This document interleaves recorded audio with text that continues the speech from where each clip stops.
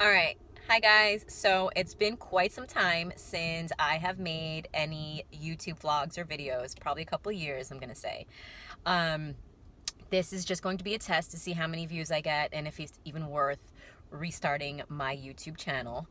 Um, I don't have anything important to say in this clip. This is just to see how many views I get going forward. If I do get enough, which I haven't really decided what is considered enough, um, then I will, of course, spread some valuable information, you know, regarding dieting, bulking, reverse dieting, training, and everything else in between. Probably do Q and A's.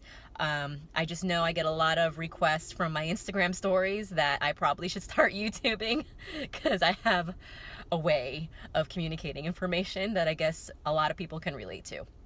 So if you do want to see videos going forward, please like, comment, subscribe, share with the world.